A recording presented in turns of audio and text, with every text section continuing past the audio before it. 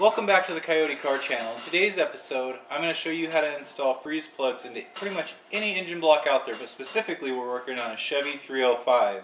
So I'll show you how to remove these and the hidden places where they are, as well as how to install them and get them in properly. And you don't need any real fancy tools, you just need a set of sockets a hammer, an extension, and a bit of gasket maker to complete this job. And it's really easy, so let's get to it.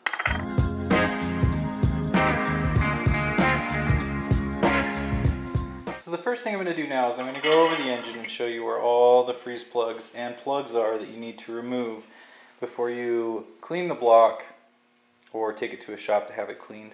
So under here, this is an oil pressure sensor right here, mechanical and there's going to be a cap on there. You're going to unscrew that and you're going to take a rod.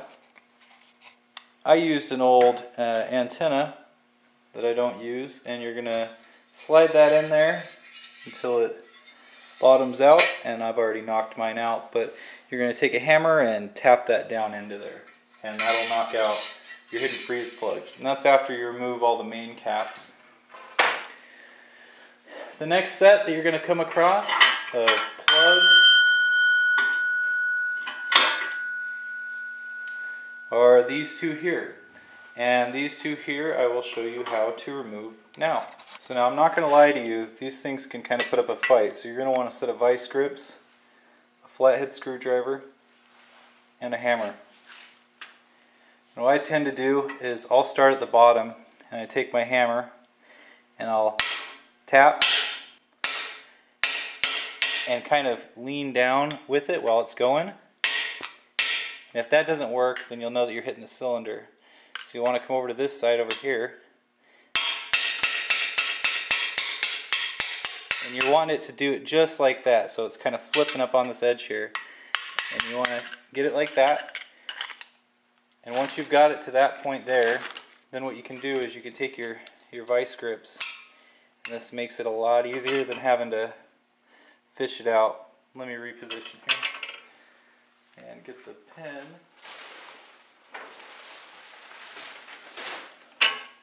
Okay. So then what you can do is you can take your hammer at this point and you can tap, not bang the hell out of it, but just tap right here on the vice grips.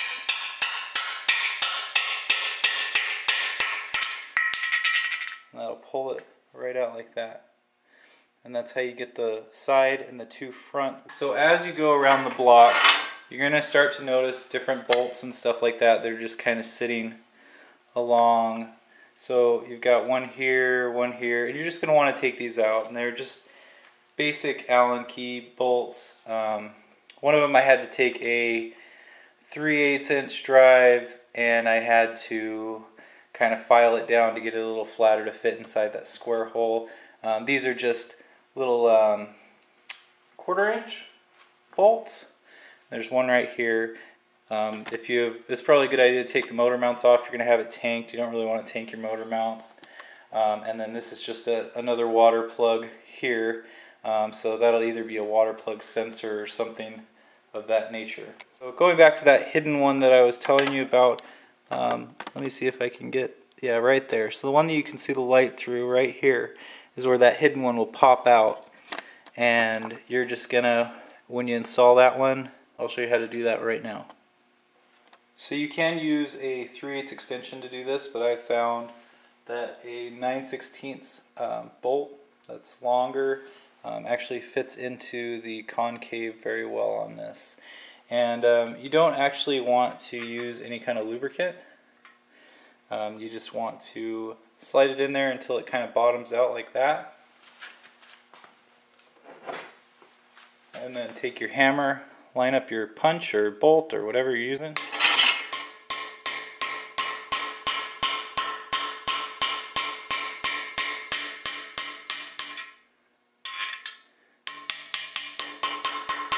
and hit it until it lightly bottoms out. Like that. And then it's installed in there. I'll give you a close-up with the flashlight of that so you can see what that looks like in there. And there you go. Now you can see that it is installed in there. So that will be the only one as far as the freeze plugs go that you will not have to use any gasket maker or anything like that. And just take your time with it, don't rush, and everything will be fine. You will feel it bottom out, and you saw I was not tapping very hard, so just be really careful with it. So let's move on. So um, I stand corrected. Actually, I don't use gasket maker on these three freeze plugs either. Um, they're actually called oil galley plugs, and they keep the oil in there to build pressure. The way that you uh, remove these is obviously they're caps like this, and they go in there. But to remove them, what you do is you have to remove three uh, threaded bolts on the other side, and I'll show you how to get at those. And then you'll shove a rod through in each of these little lines that run through to pop these three out. And you want to remove these if you're going to have your engine tanked, otherwise there's no point. It won't clean everything out. So uh, that's just a really crucial part of doing this. So I will show you how to get those three on the back side off and show you where to run the rod through. So these are the stock ones that come on the block when it was made by the manufacturer and um, I guess they, they might remake these but um, anyways if you're trying to get these ones off, these three specifically that I'm talking about off the back of the engine, um, a quarter inch drive um, fits just great in there. It might be helpful if you have an impact to just kind of break that that that bond between the rust. So, um, but the new ones, they actually come with a quarter inch Allen head, and so you know those are pretty easy to get on and off of there, as opposed to using this quarter inch maybe hole.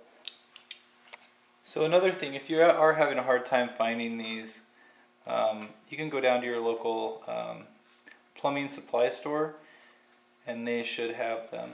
Now what I'm actually going to have to do is I can start these and I've got a little bit of Teflon tape on them just to kind of seal it um, a little bit more. But I'm going to start all these and then I'm going to um, hook it up to my crane and lift it up so I can actually install the rest of these and I'll show you guys how to start doing the freeze plugs as well. So let's get into that.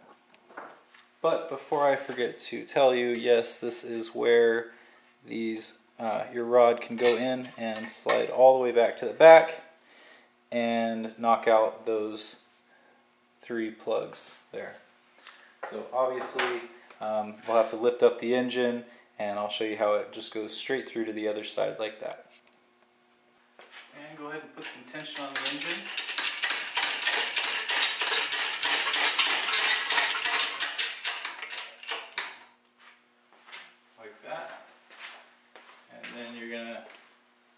Loosen all four bolts on the back side here. And I'm doing this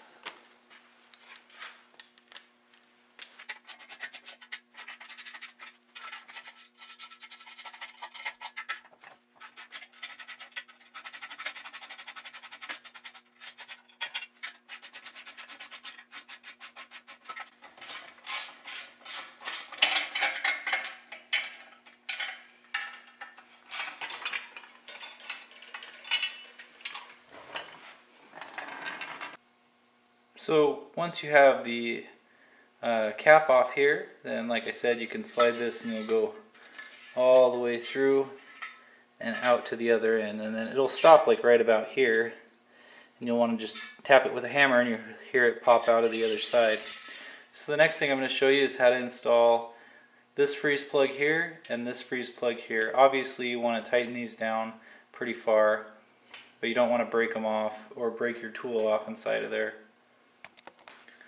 So I'm just going to slide the tool in there and just start tightening it down and turn the tool over. The amount of torque on it like that. And that'll be good. It doesn't have to be completely flush.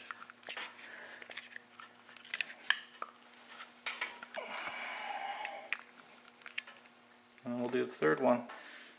So there's just a few things that you're going to need to do this job um, the first thing you're going to need is a paper towel to wipe your fingers off, the uh, freeze plug that you're going to install, a hammer. And I found it really useful to just get a socket that will actually slip into like that of the freeze plug. And the final thing you're going to need is some uh, RTV. And so basically what you're going to do is throw your paper towel over your lap and start throwing a little bead of silicone about halfway around.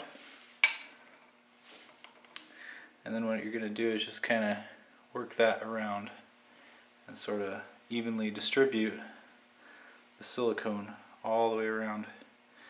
You want a nice little even layer so that way it will go on correctly.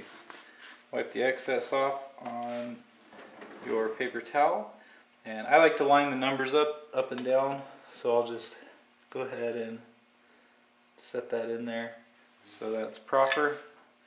Take my socket, easily put that in there and start whacking away until it's just below flush.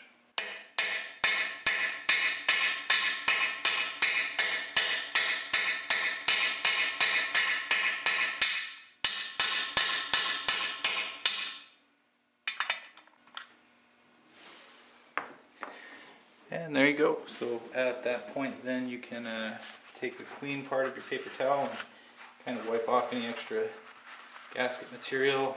This part of the engine is never really going to be seen so it doesn't really matter. But just for demonstration purposes I'm going to clean it up. So then uh, you're going to do the same thing. So this is going to be on a Chevy 305 or Chevy 350. There's only going to be one of these O-rings that is this thin and this wide. As you can see compared to this one it's almost double the size. So anyway you're going to do this one the same way and this goes on the back. So you're going to do the exact same thing.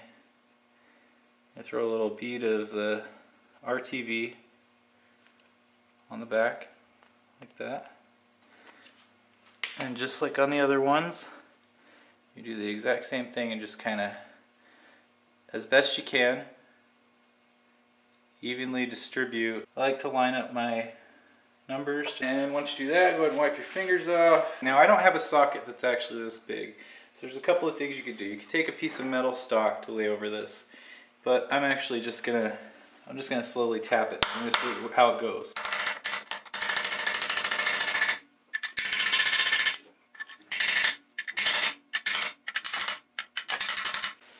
Okay, and that worked just fine, so go ahead and clean it up a little bit. Check your depth if it needs to go down a little deeper. Well then, take it down a little bit further, but that looks uh, just fine and dandy to me. So I'm going to get it back up on the engine stand and we'll throw the rest of them in. Also, if you guys don't know how to use an engine stand or a hoist, uh, I will link in the description below on how to do that. Also, if you haven't already, um, if you could subscribe and hit the bell icon, I'd really appreciate it. It's what helps keep this channel alive. Uh, so the next thing um, that we're going to go ahead and do is we are going to install the front oil galley bolts. And we're going to do it the same way as uh, we did the hidden oil bolt. And that's by using a 3 8 uh, sorry, a 9 16 bolt and um, we're just gonna basically line that up in there like that. Let me get you zoomed in so you can see. So I've just taken the cap like that put it on there and lined it up. You want to get it kind of flush all the way around and then just go ahead and hit it a couple of times.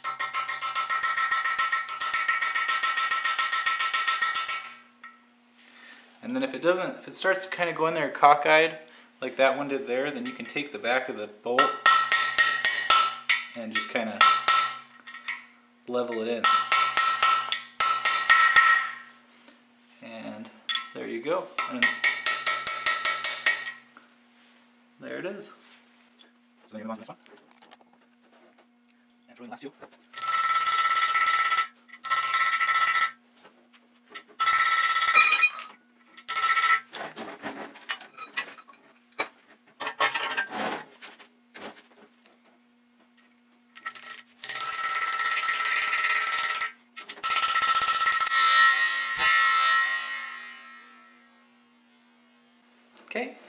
So now that those are done, I'm gonna, now we can work on this one and this one here. And you already know how to did those because those were done on the other ones.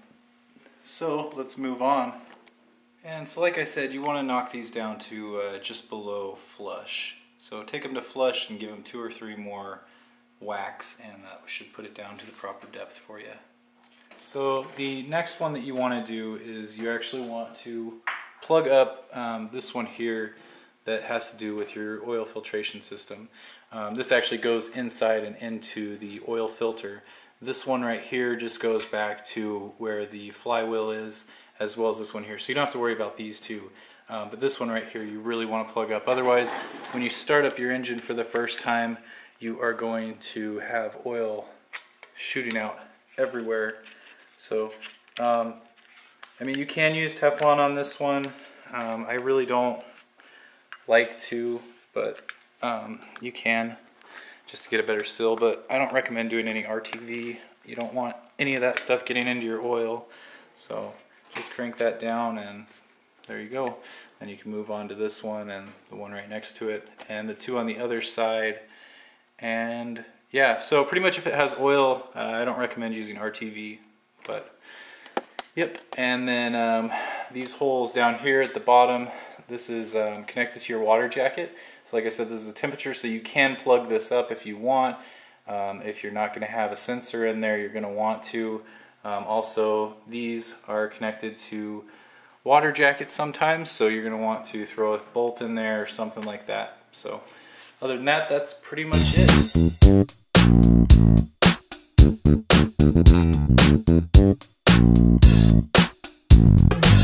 So